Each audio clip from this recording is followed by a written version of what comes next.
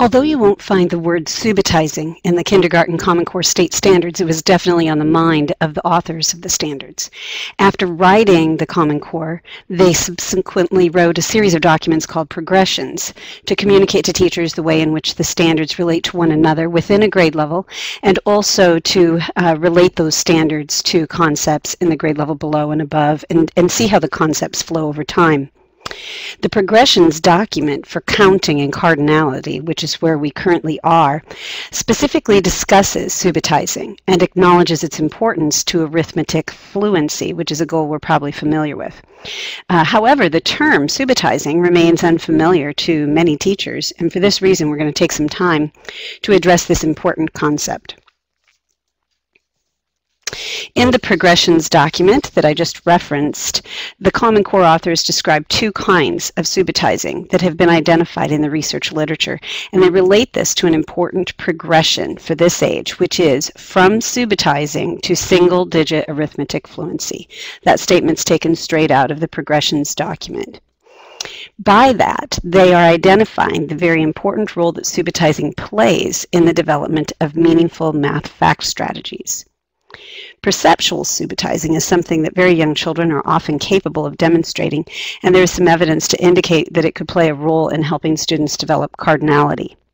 Conceptual subitizing takes this a step further by subitizing more than one quantity and then using that to determine a whole. So as such, you can see that conceptual subitizing, working with more than one addend, for example, could be very useful to building a meaningful foundation for arithmetic. And you will also see the role that visualization plays in the process of subitizing and how that can lead students to some powerful strategies. Even very young children often show a remarkable talent for recognizing small quantities without counting. Douglas Clements, who's well known for his research with young children's mathematical development, tells a story of a baby just six months old who has three cards in front of her face the first card has one dot, the second two dots, and the third three dots.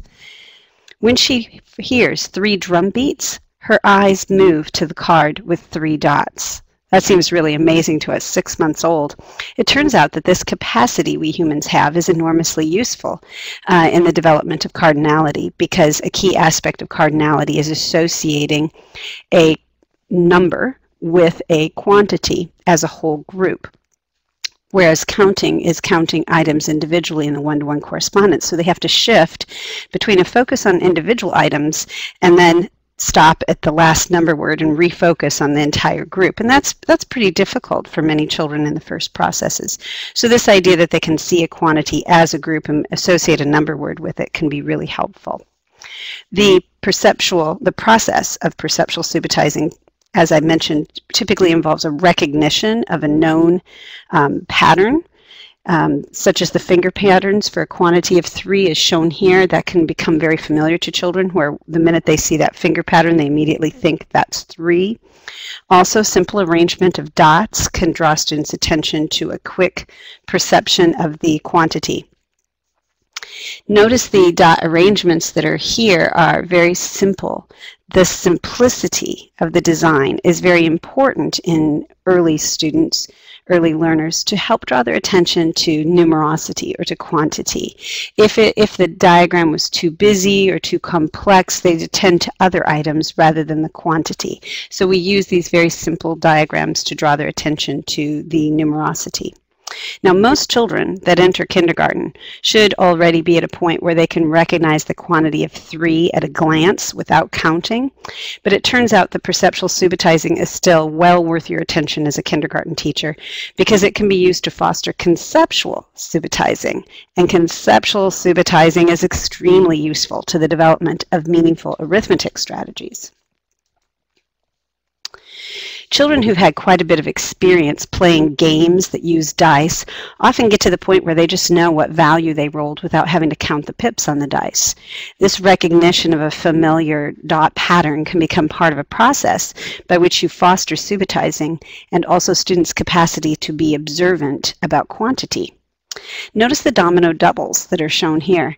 It's interesting to show a domino like this to your students for a short time, like a quick image, and then ask them what they remember seeing. After eliciting students' memories, you can ask them if they have any ideas about how much that would be altogether. Often you will have a student in the classroom, or perhaps even several, who will be able to say something like, well, I saw four on each side, and I know that four and four make eight. You can ask the classmates if they agree or disagree, and then show the domino again for the whole class to study and see if the statement is correct.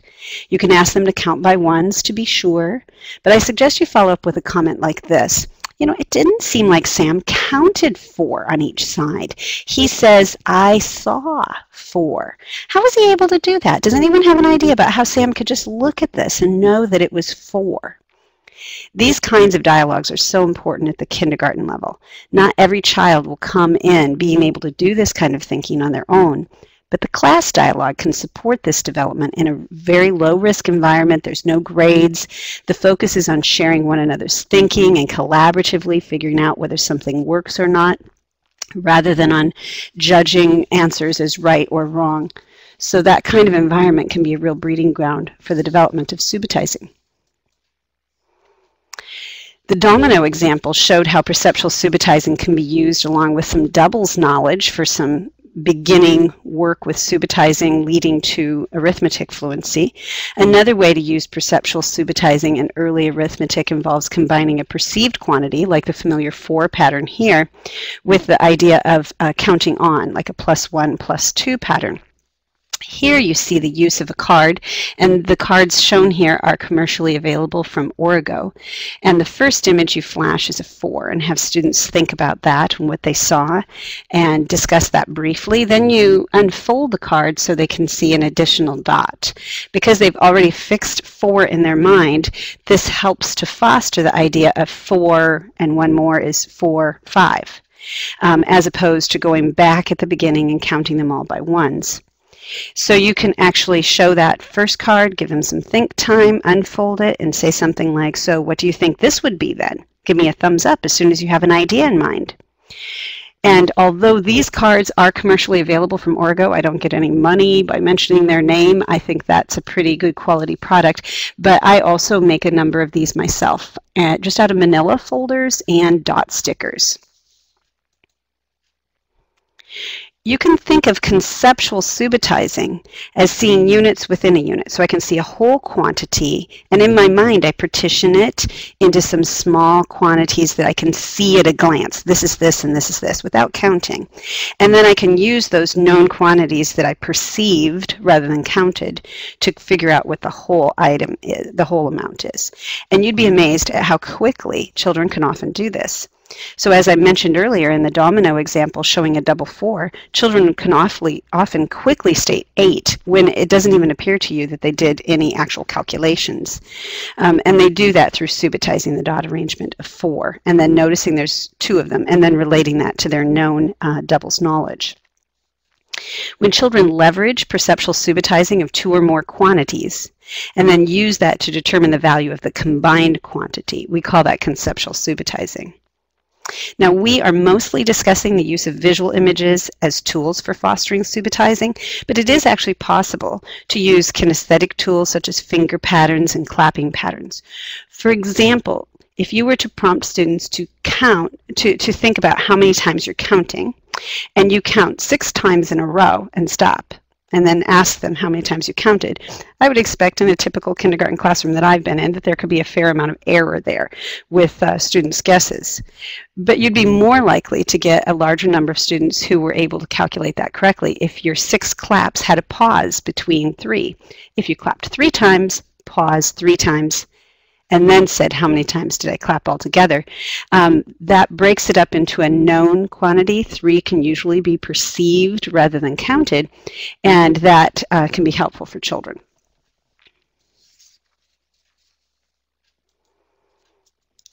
Subitizing has been a field of research since the early 20th century. It's not a new idea. But one of the current researchers in this area is Douglas Clements, who I mentioned earlier. He points out here that conceptual subitizing is an important stepping stone to developing number sense and more abstract arithmetic strategies. This is why the Common Core authors have identified it specifically as a starting point to a progression that leads straight to arithmetic fluency.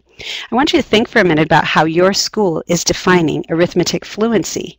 Is it using a rote-based, memory-based definition? If it is, it may be really hard for you to see how subitizing is playing a role in that. But if your learners regularly develop personally meaningful strategies like doubles plus one, um, chances are that's the result of subitizing, and you may already be seeing some of the value of that. All right, so we want our students to become strategic. We are ready to go with that idea. But what do we do to get there? Rome wasn't built in a day we need to lay the foundations. I would suggest first that you consider placing in your schedule a daily opportunity to build number sense. I'm not talking about a time for a math lesson here. Rather, I'm suggesting that you have a daily time slot that allows for ongoing number sense and strategy development aside from the flow of units and how they they um, flow throughout the course of the year. This is a specific time isolated from that. It could be at the start of math class, but it isn't dictated by the lesson of the day. Its focus is ongoing strategy development. And one of the things you can do with that time is to foster subitizing. Some people are calling that daily time slot number talks. You may have heard this before, but during that time you helps students develop ideas and strategies for thinking about number. And especially at the kindergarten level, these typically begin with the use of some visual images. The, the quick images that I talked about earlier are one of the strategies you can use. These are a series of visual images. They're shown to students one at a time for a short time. Typically, you aim to show it to the students long enough that they can get an image fixed in their mind, but short enough so that counting by ones is not an option. As you choose the images that you're going to show in the sequence, there are a few things to keep in mind. The objects themselves should be fairly simple because you want to draw their attention to focus on quantity rather than on all the variations within a picture. And you also want them to um, be able to have a flow or sequencing where they can follow and get gradually more difficult. So some arrangements of uh, dots, for example, are more difficult to perceive than others. So you would want to take that into consideration, um, both in terms of how an individual number talk would flow, what kind of image you start with in a sequence and where you end, as well as the kind of quick images, how they flow over time. So the kinds of things I would do early in the year would be different than what I might do um, during mid-year. So I have to take some developmental things into consideration. Here you see an example of an image you might use. A circle is a simple object, and the focus is on the arrangement and the quantity of these circular dots. This could be rather different if you had a complex picture with lots of variations. For example, if you had if you showed them a picture that involved, you know, girls scattered all over the place, little girls. Each girl had a different colored dress, maybe different colored hair, they're different sizes. Then it would be very unlikely to foster subitizing because the students um, are too distracted by all the variations. They're not necessarily thinking of groupings, they're thinking of how they're different. So in these simple diagrams, uh, the simplicity of the design is more likely to draw their attention to number. In the image shown here, you could hold it up for a moment or two, then place it face down in your lap. Give the students a moment of think time to focus on that image in their mind. This is actually really important because it allows more learners to benefit from the experience. If you take the first student who raises their hand immediately after you put this down in your lap, you are probably supporting the person who is least in need of this whole educational experience. A moment of think time with a prompt, close your eyes, try to remember the image you saw, get it in your mind, in a moment, I'm going to ask you what you saw. It, that can be really helpful to getting a broader group of students to benefit from the experience. Then you can call in individuals to share what they remember and ask the class if they agree or disagree. And the discussion um, can also naturally bring up the qu total quantity of dots on the card, or else you can prompt them if the students aren't bringing that up on their own. Be thoughtful about the opportunities that you're using to foster subitizing. Uh, the image shown here fosters counting one by one, not subitizing. I'm not over fond of this worksheet, but if I were to use it, at best it, it could potentially be used to help students make tra keep track of their count since it's so busy, but there's no likely grouping that can result from something like this. So be very thoughtful about the goals you have for the counting exercises that you give. Um, in order to foster some subitizing. I mentioned earlier that the sequence of dots are, are of various levels of difficulty, and you have to take that into consideration as you plan uh, to show them a series of quick images. Not all spatial arrangements are easily counted, even for adults. The developmental sequence here of difficulty, in other words, the top one is the easiest and the bottom one is the hardest, this holds true even for adults. Linear arrangements are more difficult than rectangular, possibly because you have to decide where to mentally partition the line into smaller quantities, whereas the top one is already um, potentially uh, partitioned. I can see a row of four on the top and a row of four on the bottom, or I can move to columns and I can see four columns of two items, or else I can even imagine partition in my mind two dice images that show four sitting side by side. So just three different ways I just mentioned to perceive the top quantity. And so you can get some interesting dialogue from students. The bottom, the linear is a little harder. Circular patterns are harder yet because you have to sort of mentally choose a starting point and remember where that is so you don't lose track. Um, and then the scrambled pattern on the bottom is the most difficult, even for adults. You'd have to be pretty skilled at subitizing in order to partition that into some known quantities and use it to determine the total.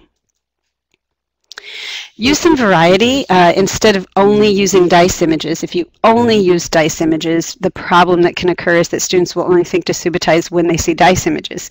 And of course, you want eventually for this path to lead them towards a broader um, transfer of this capacity to subitize to other uh, settings as well.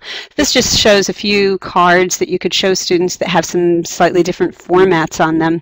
And uh, in addition to that, the, eventually um, I've also seen some different color where, uh, for example, if you look at the bottom right, uh, you see four dots. They're all orange, three on one side, one on the other. I could, if I wanted, make one, one of the items that's three green.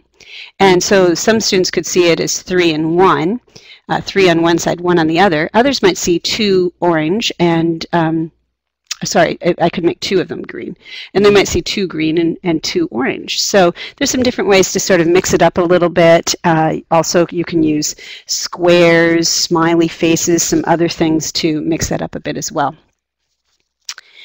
All right, this would be a good time for you to examine your textbooks then. What kind of images do you see that lend themselves to the development of conceptual subitizing? If you feel that your textbook gives limited exposure to this idea, don't let that stop you. You can get index cards and dot stickers and just make a whole series of visual images that you can use to show your students as quick images. Or you can go a bit more high tech and do it on the smartboard. Use the visual images to foster classroom dialogue about how your students are seeing number in the images and then how they're using the numbers that they see in their mind to figure out how many dots are on the card. These kind of dialogues can be particularly helpful to other students in the class who are not yet subitizing. As they become exposed to how others are seeing number, it draws their own attention to the value of seeing numbers and subitizing. The last thing I would like to say, however, is that subitizing is a technical term. We don't use that word